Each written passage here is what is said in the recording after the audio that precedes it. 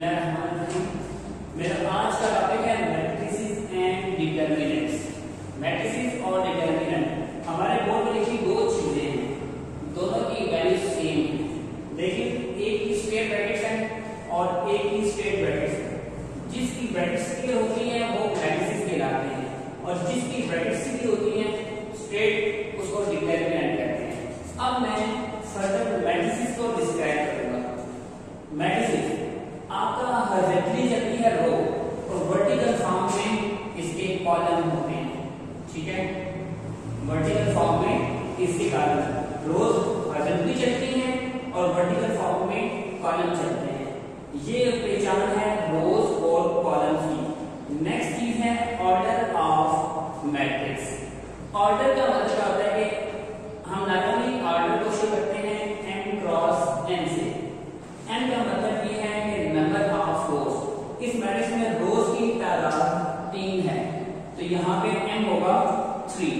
ora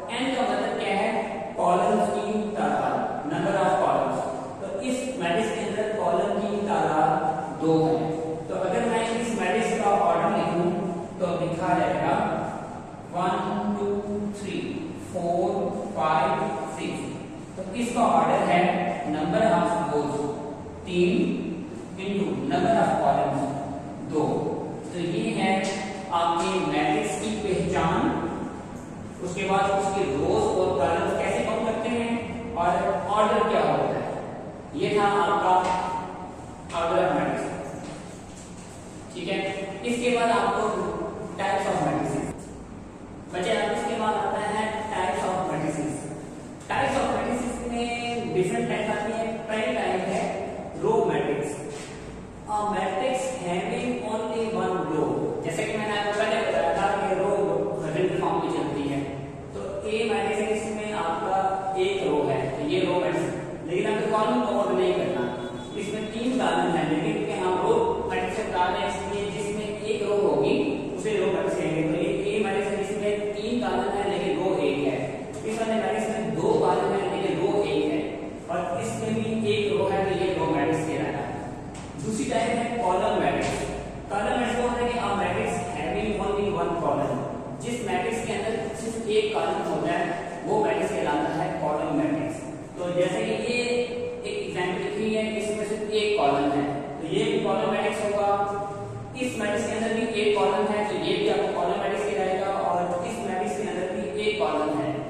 ये column matrix कहलाएगा इसके बाद तीसरी टाइप है square matrix.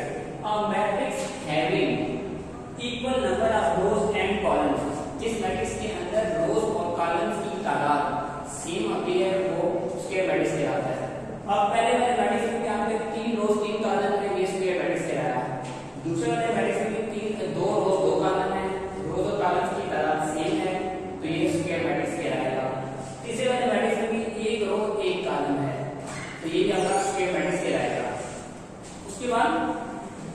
कंफ्यूज ये है कि जिस मैट्रिक्स के अंदर एक और एक आलम होगा ये मैट्रिक्स मैं यहाँ पे भी लिख रहा हूँ, इस जगह पे भी लिख रहा हूँ और इस जगह पे भी लिख रहा हूँ।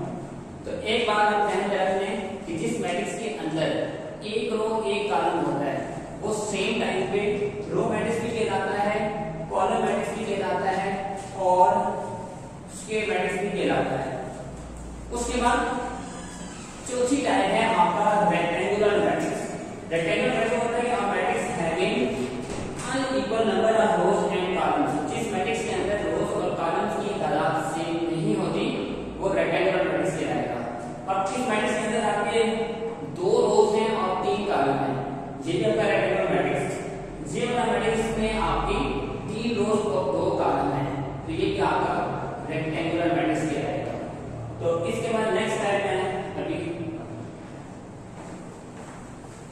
कहाँ से पॉज होगा?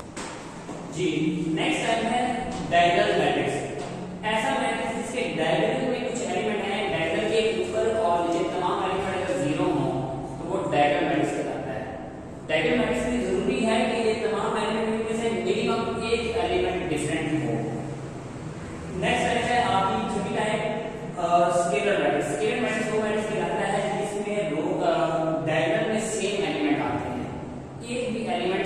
डिफरेंट ना हो, उसे कहते हैं डायगोनल मैट्रिक्स उसके बाद आखिरी टाइम है आपकी यूनिट और आइडेंटिटी मैट्रिक्स जिस मैट्रिक्स के डायगोनल में पॉजिटिव वन आएगा, उस मैट्रिक्स को हम यूनिट और आइडेंटिटी मैट्रिक्स कहेंगे. अगर आपका मैट्रिक्स में नेगेटिव वन आ रहा है डायगोनल में नेगेटिव वन आ रहा है तो ये